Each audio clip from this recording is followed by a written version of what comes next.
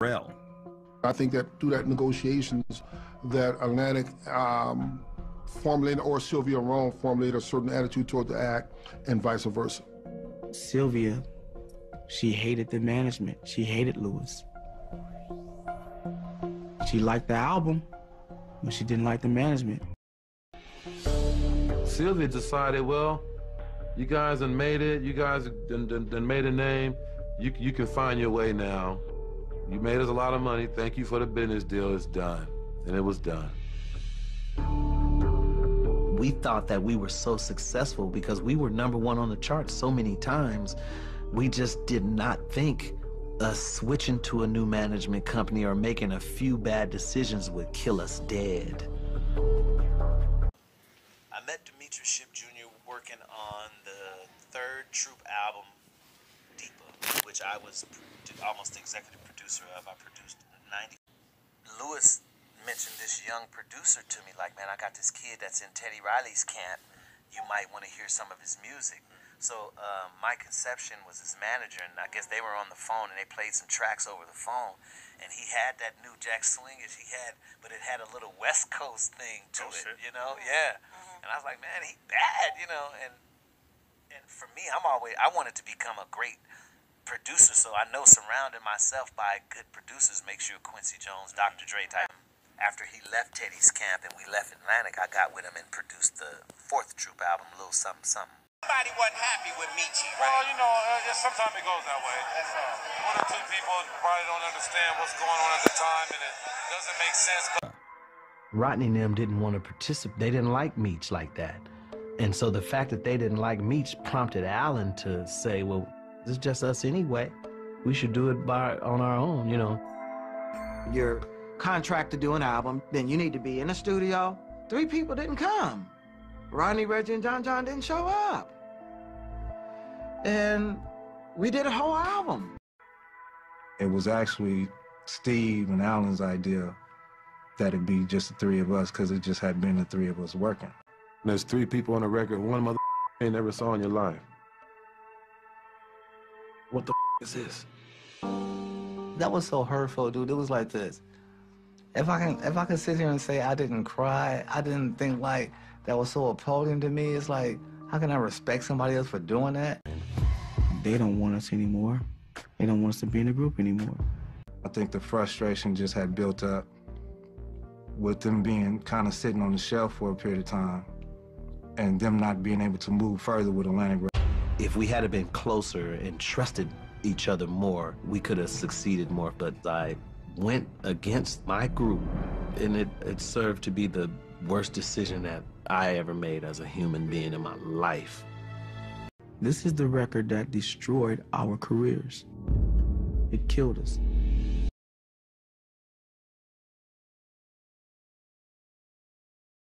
For the longest time, I didn't realize Troop was ultimately over so um, I would I was always writing songs. I've been writing songs since I was in the tenth grade. So I was always holding songs and putting songs to the side for this random Troop album that someday this Phantom Troop album that was going to happen one day. And um, my mom kind of took hold of me and kind of shook me and was like, "Son, you got to wake up.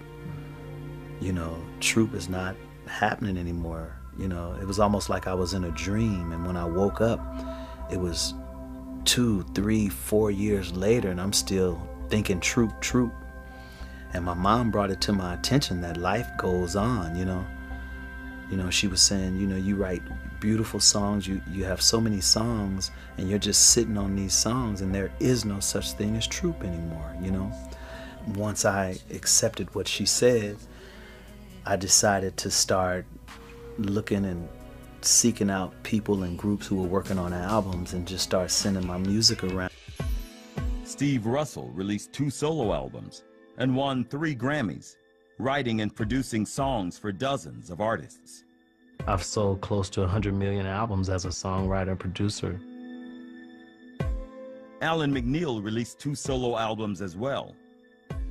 John John continued to record as a solo artist and became a contributor on a gospel radio show. Rodney Benford started a business catering barbecues. Reggie Warren became a chef.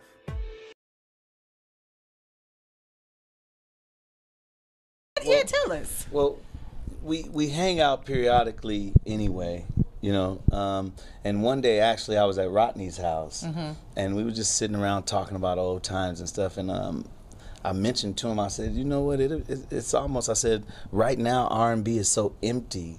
You know, there's really not anything that's gonna that can stop us.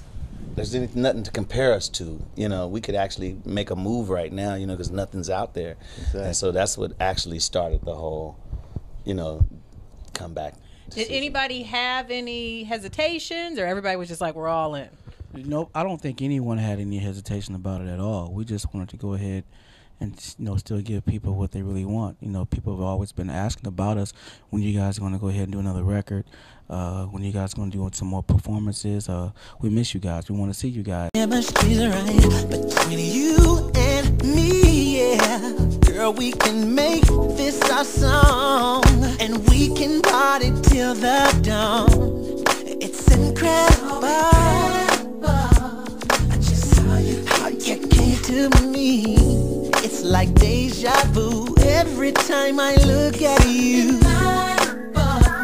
That you were meant for me, like the morning light shine. You were here by design. Oh yeah.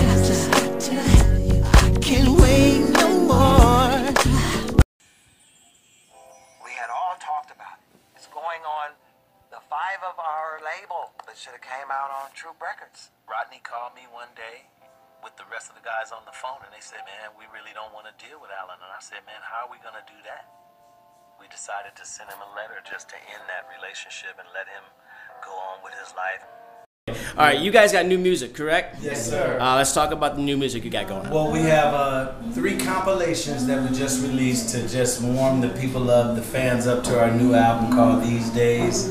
Um, the first album is the B sides, um, Deeper Revisited, and the slow songs. And Okay. each each one of those compilations, we have new music, unreleased music on it. So uh, All right. there's new troop music out and available right now. And our new single is called Not in a Million. Not in a million. Nah, So it's- you still believe in that real R&B soulful music is out there? So Oh, I- guess what we all forgot?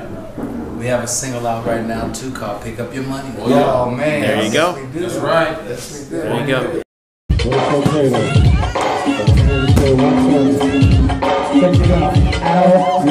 Me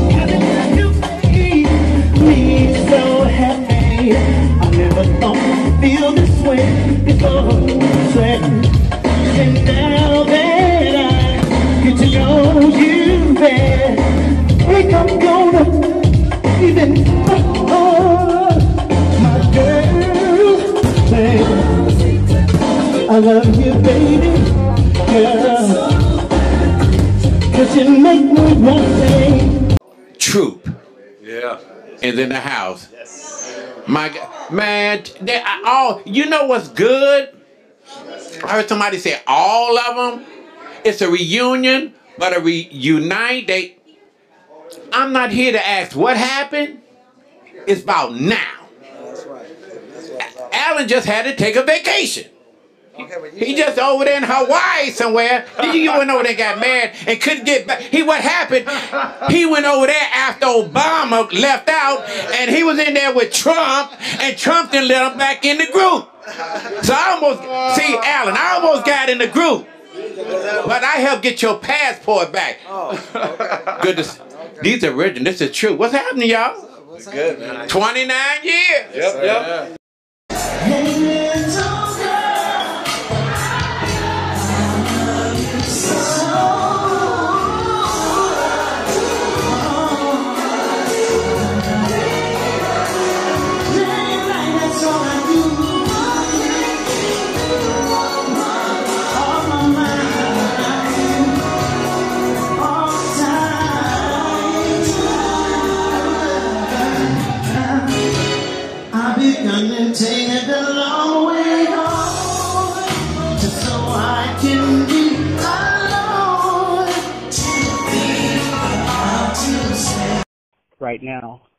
Reggie is choosing to do something right now that we, we you know, that we don't like, but you know we have to still love him.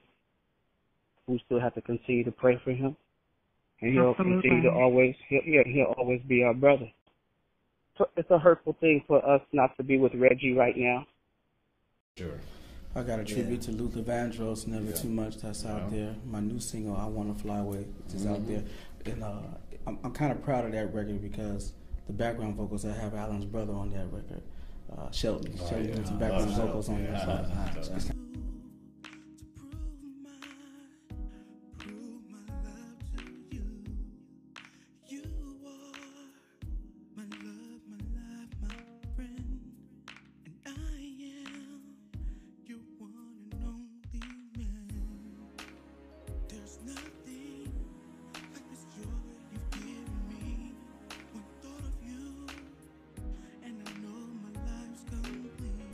and we, me and Alan, we just did our first project together Yeah. called Mac Rust. We just um, remade Michael Jackson's "Lady in My Life." That's our first single. Yeah. Nice. So that's available as well. Video- so we have music out.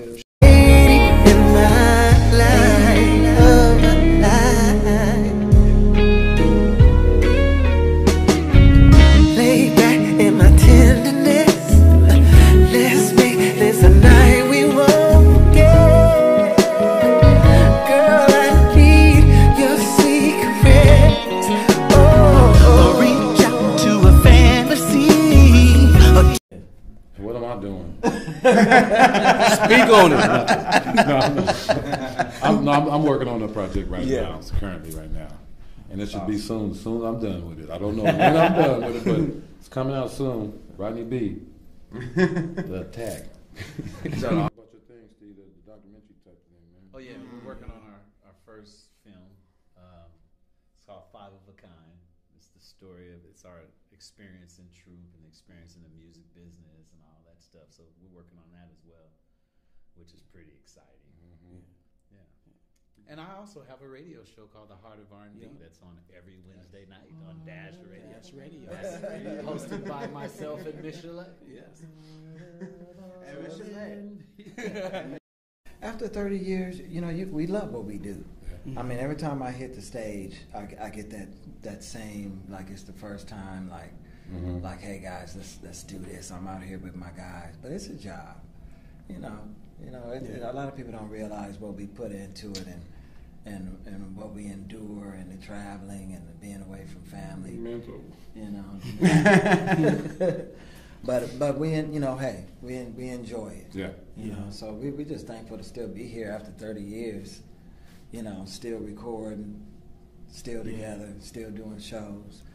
I, I you know I wouldn't change my my life for nothing. Still fly. He's crazy. He's crazy.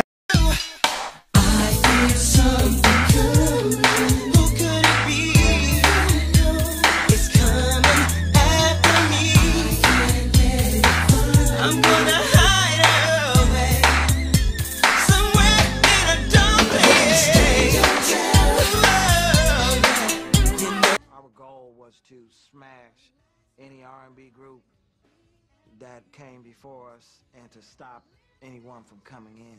And for a short time, we did. Cause you're running out of pain. You make me sing something that I ain't.